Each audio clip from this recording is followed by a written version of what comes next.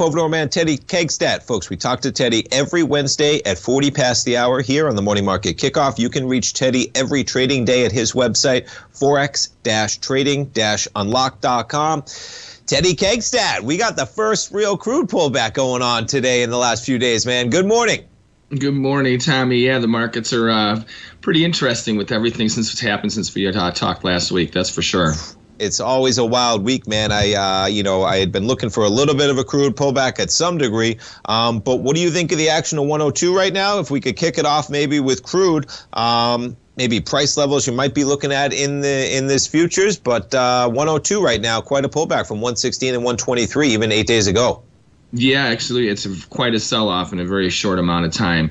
So um, I I wouldn't read too much into this slide. I would think that this is probably where it's bottoming out. I don't. Maybe we may see a little bit more pressure.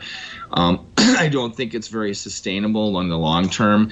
And uh, another thing that we are kind of noticing that I looked at is the divergence between gasoline futures and uh, oil futures. So gasoline is not breaking like crude oil is. So uh, you're not going to okay. see the pumps drop, you know, like especially we've had a, a $22 sell off in just a, a, period of like, you know, six days. You know, I mean, the, the pumps have come back a little bit, but they're not coming that much back you know? Yeah. so because if you look at gasoline futures they're not retrade they're they're definitely um, hitting new lows too but not even not remotely as severely of a slide you know? So i think you have to kind of watch how the gasoline futures work too. If there's not follow through to the downside then i think crude's pretty much going to start to find a bottom and probably get a bounce you know? So i think it's just an overzealous uh, sell off right now. I mean the reality is is that we have supply issues demand i mean you have a lot of news driven stuff because all of a sudden the news and the fed is starting to talk about recession. Well we were talking about a recession coming to hit us already six seven months ago you know so that's just finally getting the news you know speak if you will. So i think you're getting the market jitters from that one you know like buying bonds because of what's yeah. going on in the short run.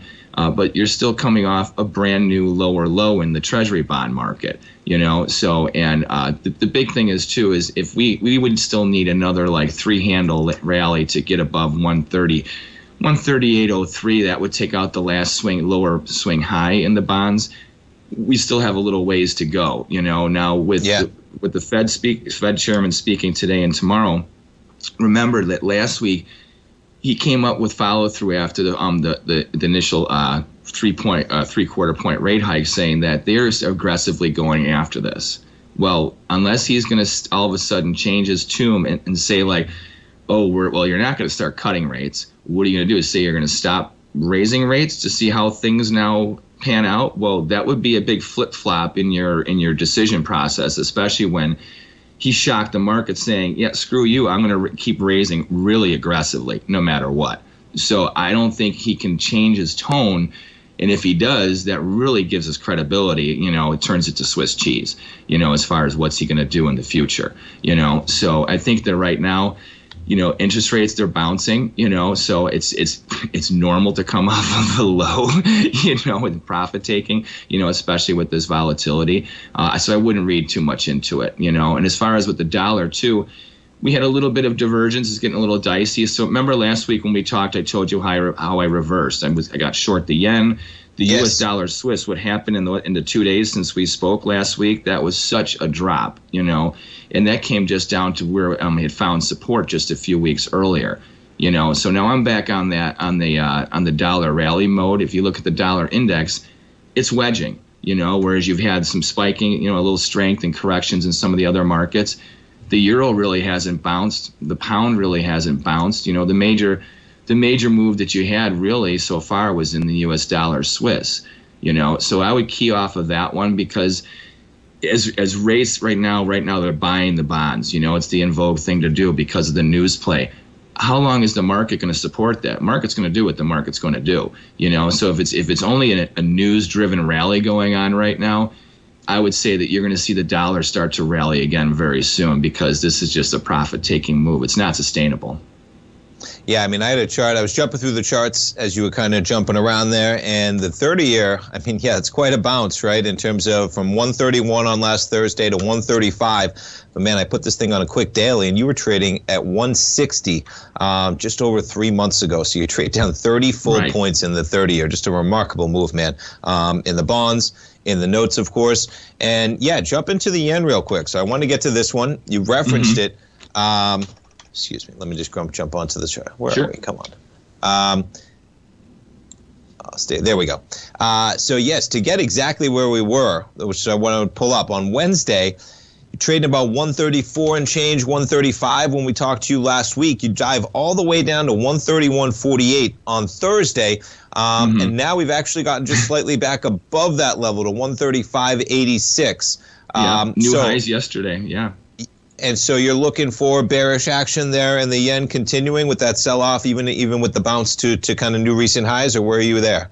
No, now like like I said last week, I For reversed dollar, gears, okay. and with that volatility in the Swiss, that made me when it hit that that one was so oversold, and then I reversed okay. gears again. So now I'm long U.S. dollar Swiss, long U.S. dollar yen. I'm long, which yesterday I got sque- I was on a short squeeze a little bit, and that's now I'm finally long the yen again.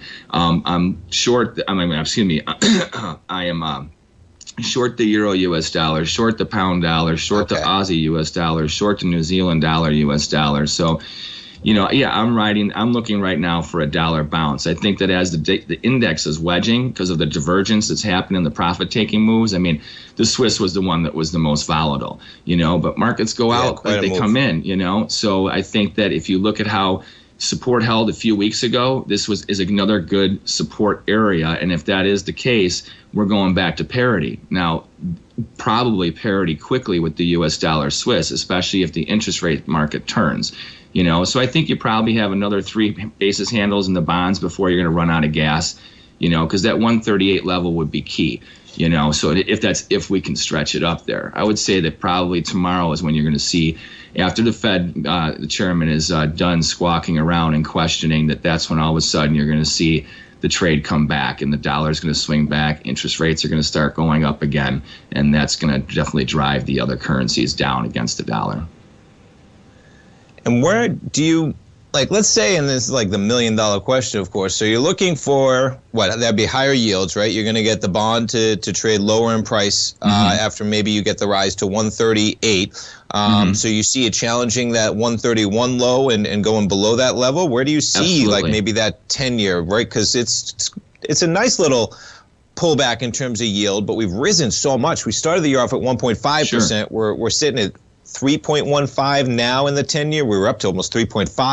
Uh, we mm-hmm. got about 30 seconds on the 10 year, just because that's what people follow most. Sure. What are you looking for in like the next few months for the 10 year as we're at 3.15 right now?